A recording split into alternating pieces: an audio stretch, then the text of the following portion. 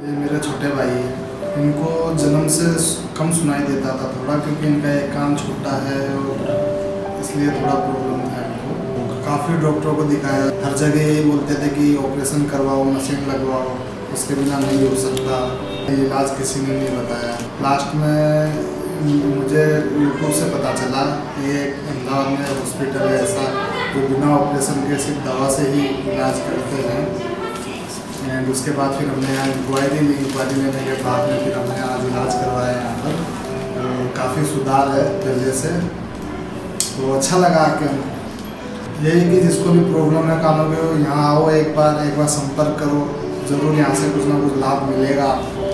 सुनने में बहुत अच्छा लग रहा है कि पहली बार आया हूँ में मौका मिला है। मैं और जगह गया तो ऐसा हुआ नहीं एकदम बढ़िया। हाँ मेरा नाम जेपी शर्मा। और मैं अभी ग्वालियर का रहने वाला हूँ, लेकिन यहाँ ब्रिटिश में रहता हूँ। और ये इंडियन न्यूज़ से मैंने मालूम किया कि आपका यहाँ ये काम होता है। कानों की जो प्रॉब्लम है, वो सॉल्व होती है। तो यहाँ दिखाया। तो अभी दो घंटे जो मेरे कानों में दवाई पड़ी है उससे काफ़ी इम्प्रूवमेंट दिखा है।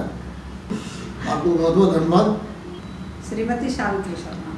बहुत अच्छा लगा। इनको बहुत कम से कम आठ दस साल हो गई बात ही कम हो गई करना प्रॉब्लम थोड़ा कम हो गई कम हो गई मतलब जो जनरल बात है वो ही। बोल सकते हैं। जो बेस्ट बात है वो धीरे नहीं बोल मेरे फ्रेंड्स देख रहे हैं तो मालूम पड़ा है तो है। अभी तक मालूम नहीं था किसी को।